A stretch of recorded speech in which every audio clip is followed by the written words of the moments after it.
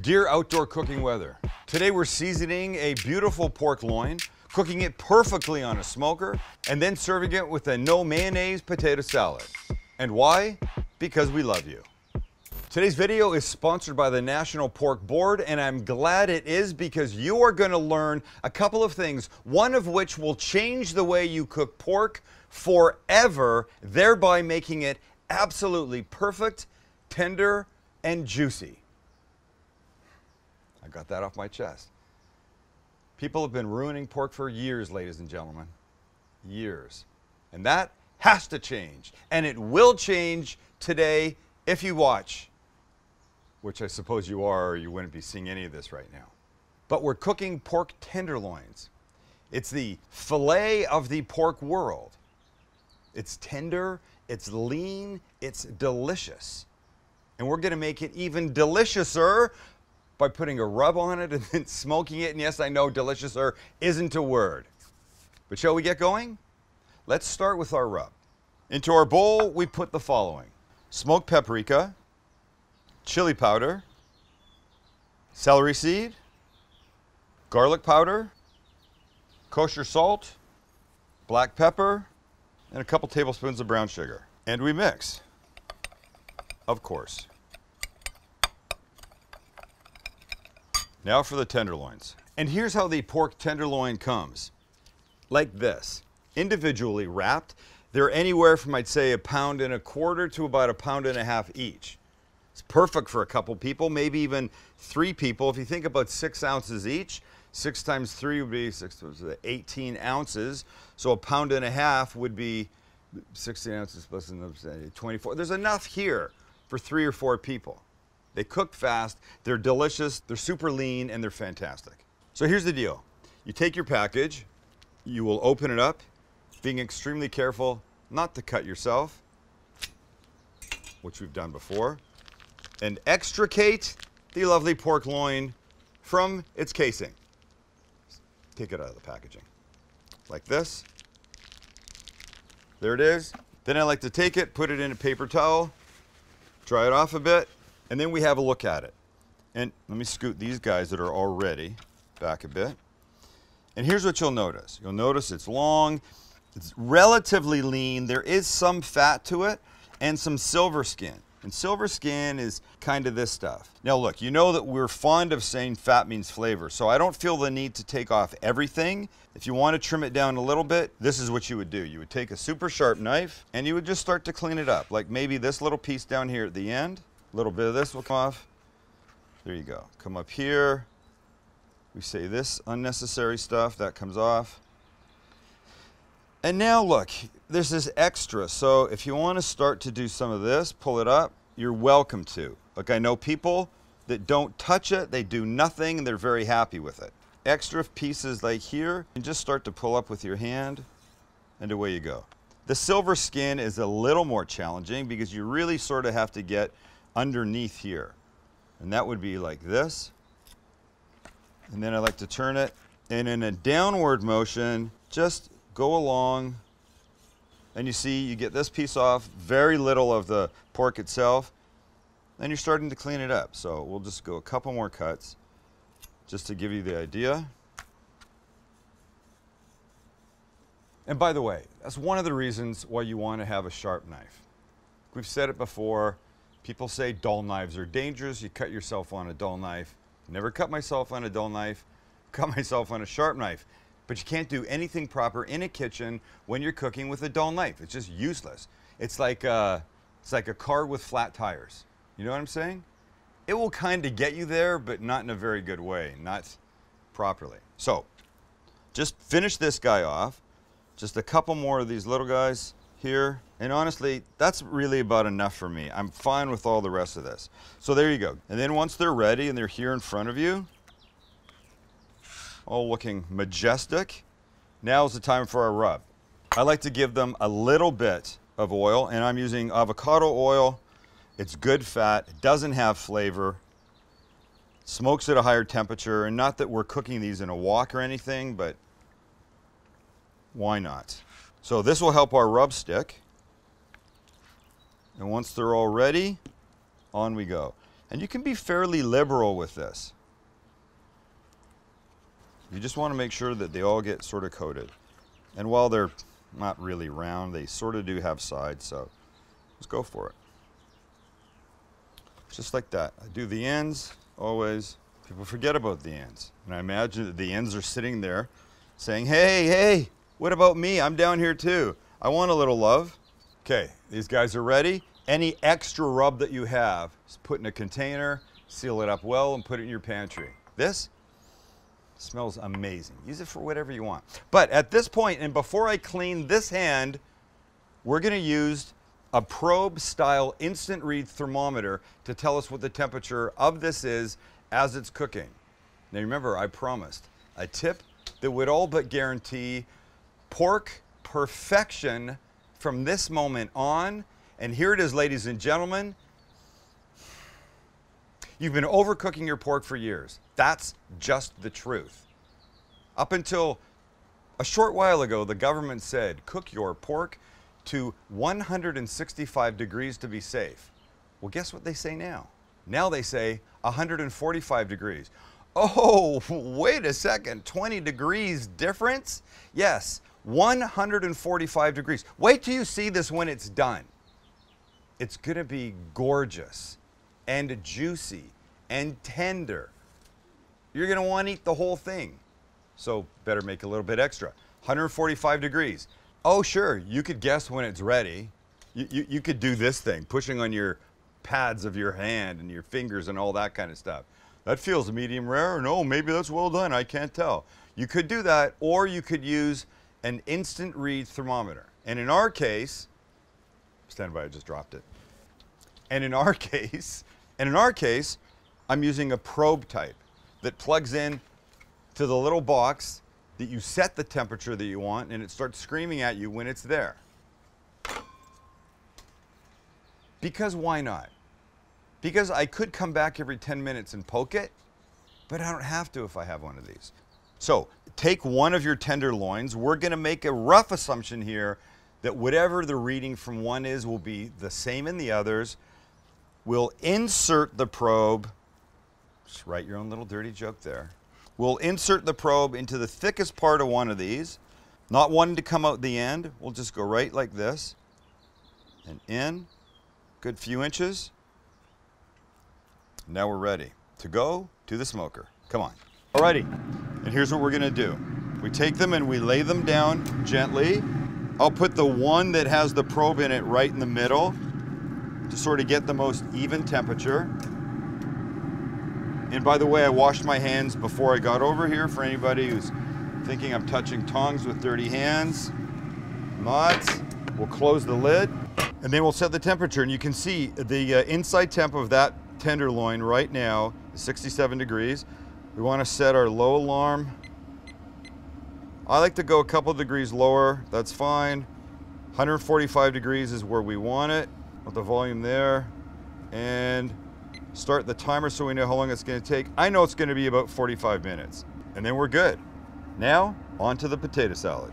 And as you can imagine, our potato salad starts with potatoes. I, am using these uh, Yukon Gold style, and uh, they will just go into boiling water until they're soft enough, tender enough to push a, a small knife or a fork into. So carefully so they don't splash. The other thing that will go on the heat at this point is some bacon. Chopped up into pretty big pieces because, well, because, because a big bite of bacon is going to be incredible in this.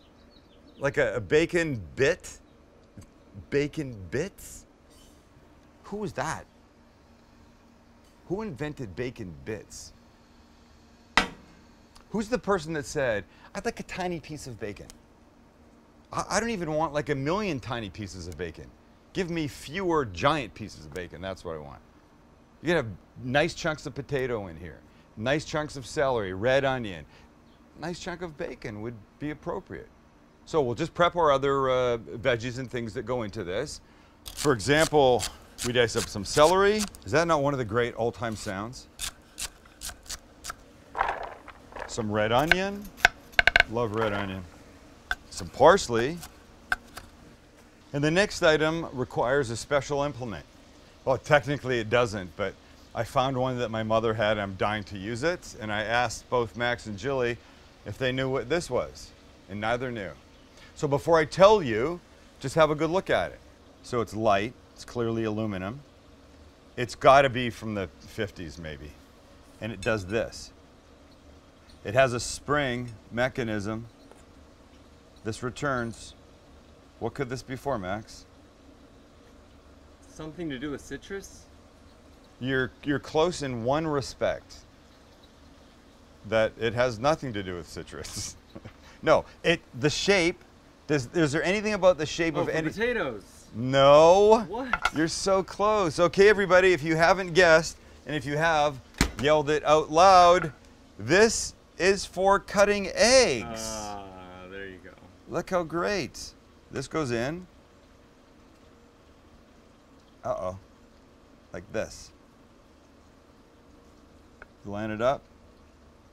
Ready? Boop.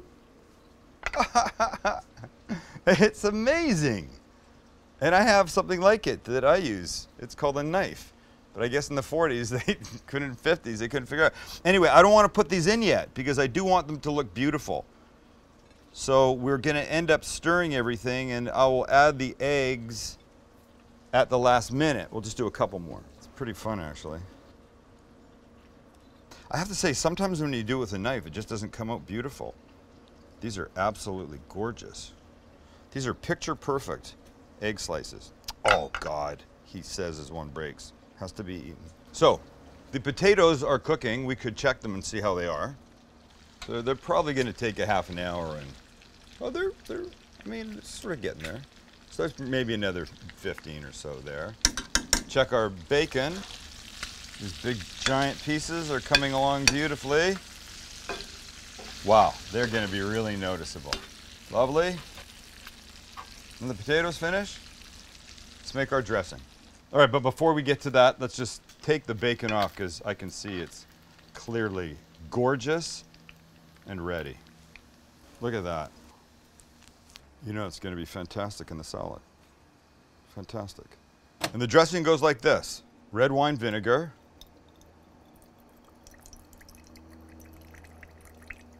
Olive oil.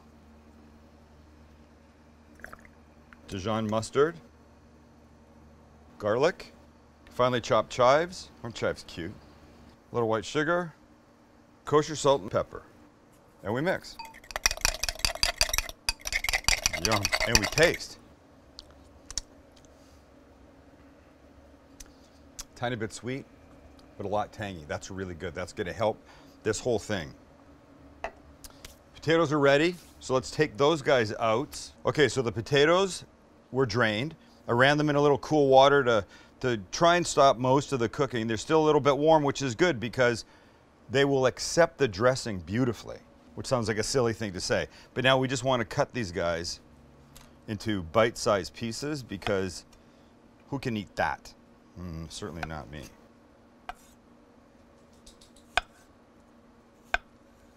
But we want this to be a fairly hearty salad, right?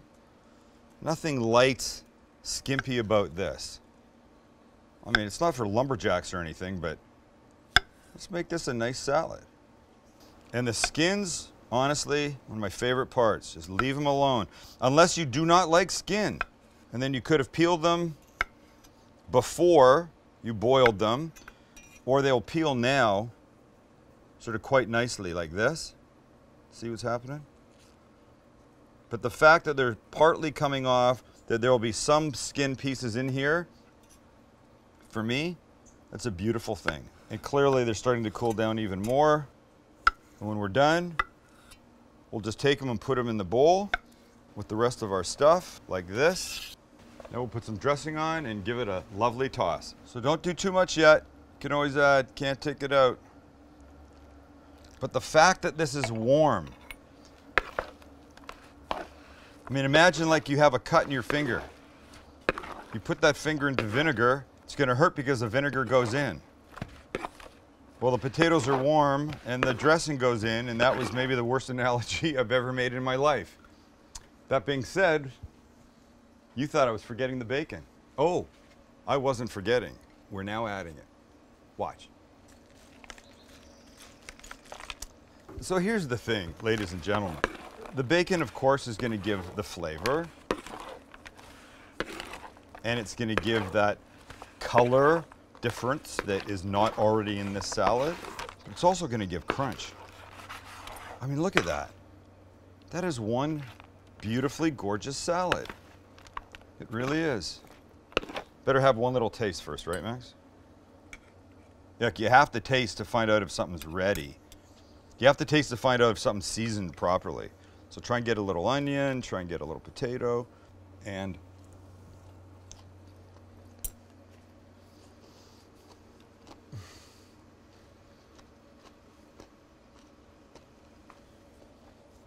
You know what's missing? Mayonnaise, and I don't care. Do you know more people die every year because of mayonnaise that's gone bad at picnics than do from shark attacks? Okay. I actually just made that up. And, and apparently, since mayonnaise is, I don't know, since they started doing something to it a few years ago, people aren't really getting sick from mayonnaise that sits out in the heat. Maybe. But the idea of warm, clumpy mayonnaise at a picnic outside is horrifying to me. This is what you want to take. the eggs. Okay, we'll do the eggs at the end. I still don't want to, I still don't want to, you know, mush them up too much. Please don't let me forget the eggs. Please? Thank you. Okay. Salad done. Pork loins, finishing beautifully. We got about 15 degrees to go. But there will be a sauce that we will, we will put on these things and dip into and luxuriate in. And the sauce looks like this. This is super simple. We'll start with grainy Dijon mustard, like that. We'll add a little soy, like that. A drizzle of honey, like that. Oh, hello there. A little salt and pepper, always. And our final ingredient, some cayenne pepper, and we mix.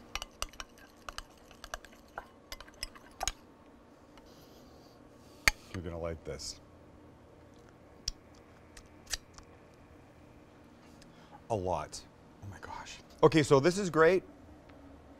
But what makes pork so great, especially these, these, these, these little pork tenderloins, is they're essentially a blank canvas. They can become whatever you want. You want them sweet, you can make them sweet. You want them spicy, fiery in your mouth, you, you can do that. They're really anything you want them to be. They're like the perfect partner. You know, before you start dating, you're imagining what your perfect partner would be. They'd be tall, they'd be this, they'd have that kind of personality, they'd that color hair, they'd, uh, they'd smile, they'd laugh, that kind of thing. That's pork. That's a silly analogy too, but it really is because you can make it anything you want. It takes the flavors. You want to make a Greek pork thing? You add thyme and, and oregano and lemon and garlic. You want to go Asian? You do, you do hoisin and, and, and soy sauce and sesame oil. You want to go uh, French? Well, just get some attitude and then talk to your pork that way. That was me, and I apologize to the French. It's not what I meant. I meant make a beautiful béarnaise sauce, perfectly uh, sauteed uh, small medallions of uh, pork in the pan on the plate with a béarnaise sauce over the top. And attitude. Love the you French. Love the French. But that's the thing. It's there for you, and it's easy there for you. Look, we're taking an hour to, to smoke these, but a piece of pork tenderloin in a, in, a, in a wok, boom, like that. You've got a stir fry. Quickly done on the grill, no time at all. It's there. I'm ready to eat. Okay, I'm gonna clean up. That's what I'm gonna do. I'm gonna clean up a little bit. And then we eat. You good? Because I'm good. Can be better in a minute. And we're there. Look, the magic number, 145. Let's take them off. Look at, just you wait. Wait till you see what happens here. Let's take them off.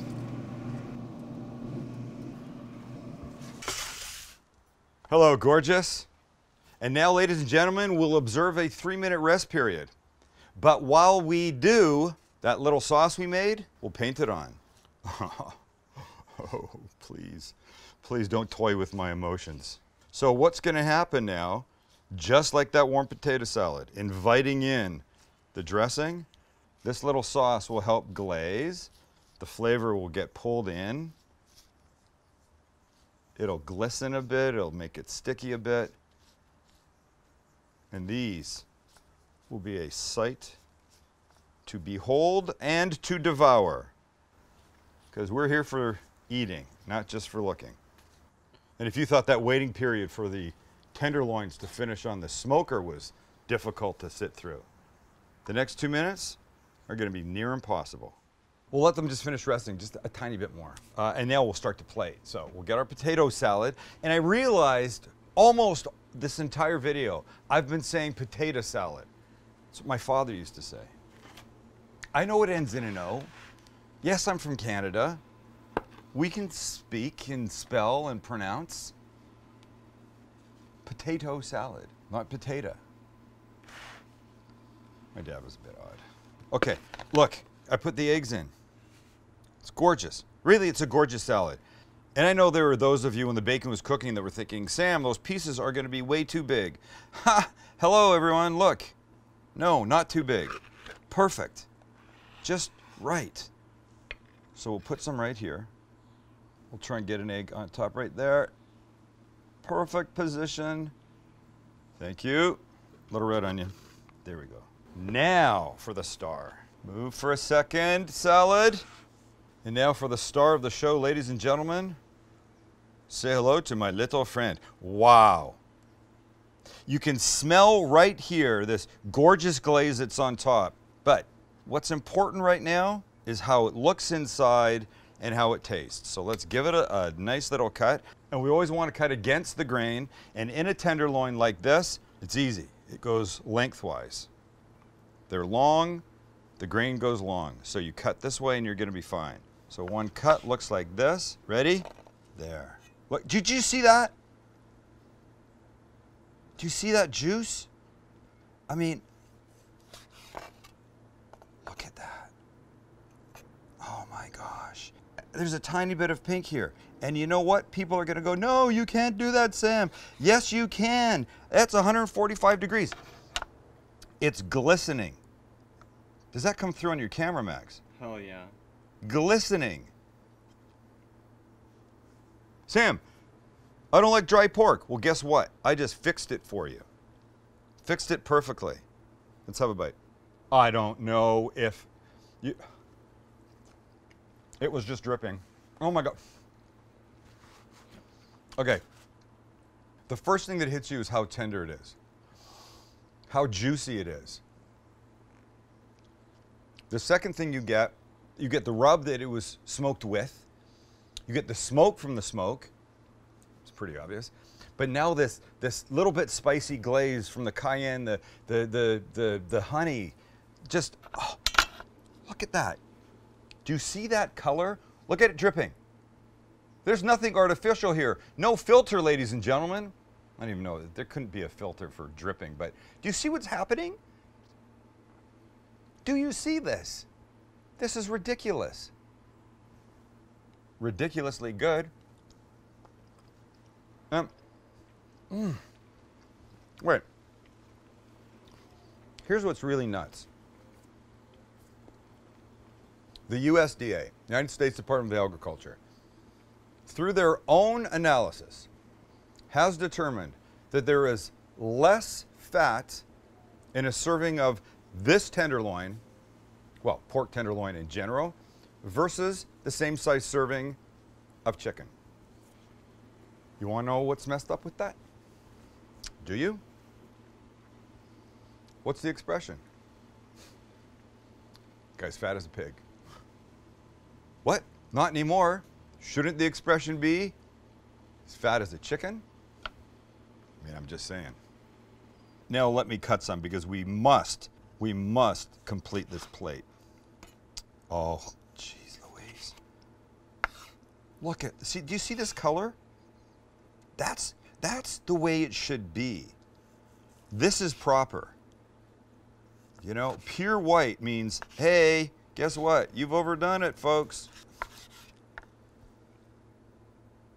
Come on. Someone, please. Somebody, please help me here.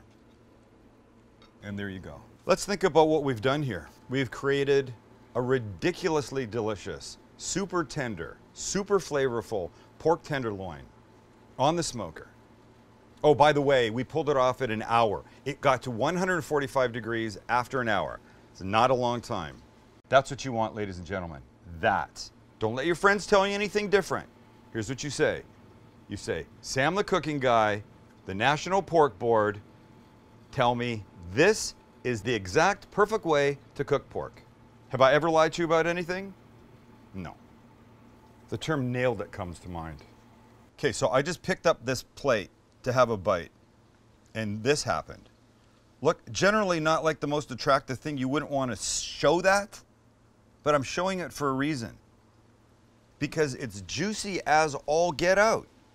Which unfortunately, the way a lot of people cook pork, hopefully up until today, is not the case. It's not juicy. It's pure white, like a sheet of paper, and it's dry as toast. And hey, if you want toast, make toast, but don't ruin a piece of pork to get toast. What I really like about pork is its versatility.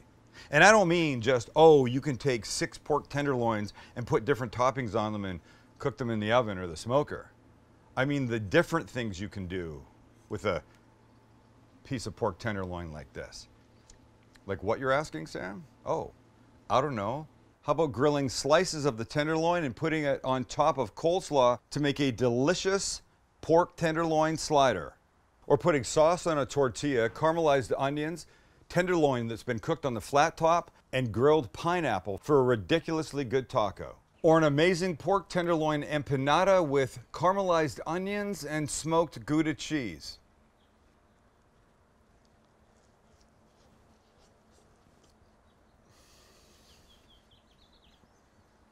Look. Talk about versatile. Oh my goodness. These are insane.